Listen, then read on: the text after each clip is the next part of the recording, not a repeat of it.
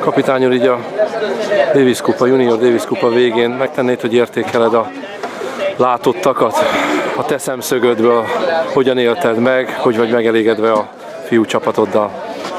Nagyon meg vagyok elégedve a, a fiú csapat szereplésével, annál is inkább már ugye, hogy saját jogon jutottak be a világkupa döntőbe, ez, ez is már nagyon örömteli volt, negyedik helyen zártak az Európa bajnokságon, és olyan csapatokkal tudtunk együtt játszani, mint a franciák, a, a spanyolok, az olaszok, ugye, és ugyanezeket a csapatokat láthattuk itt, meg is kaptuk őket az első napokban, ugye a spanyolokat és az argentinokat, tehát egy nagyon, nagyon erős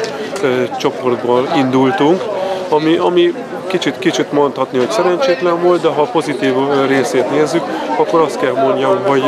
hogy ebből nagyon sokat is profitáltak a srácok, meg tudták azokat a játékelemeket kicsit tapasztalni, ahogy, ahogy a magasabb szintű játékosok játszanak, és tulajdonképpen ezt vitték tovább a, a, a következő napokba, hogy a mérleg három győzelem, három vereség, három nagyon erős csapat ellen nagyon, nagyon jó játszva, szorosan kaptak ki, és a három úgy mondom, hogy kötelezőt, azt pedig, azt pedig nagyon szépen abszolválták. Ha személyre bontva értékelnéd a teljesítményeket, akkor esetleg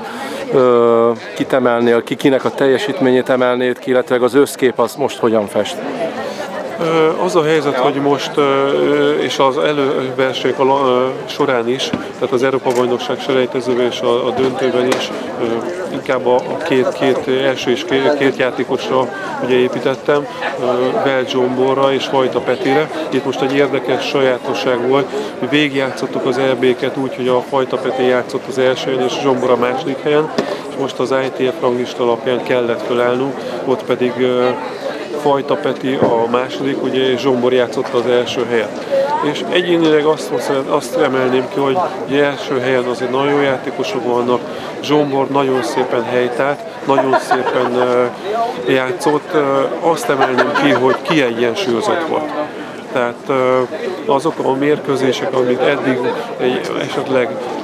fejben nem tudott úgy lejátszani, hogy kellett volna olyan profi módon, hogy végig koncentrálva, itt most úgy gondolom, hogy egy magasabb szintre lépett. Ő is megértette, hogy, hogy komolyabban kell venni a, a, a, a meccseket, és félretenni az érzelmeket, és csak a, csak a, a mérkőzésre koncentrálni. Azt hiszem ennek meg is jött az eredménye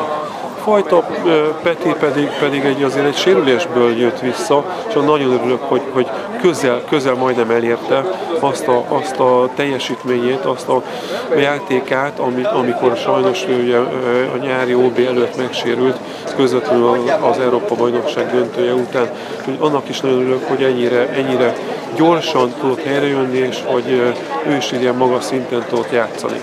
Nagyon szépen köszönöm, és gratulálunk még Köszönjük egyszer. szépen, köszönjük. Köszönöm. Köszi, köszi.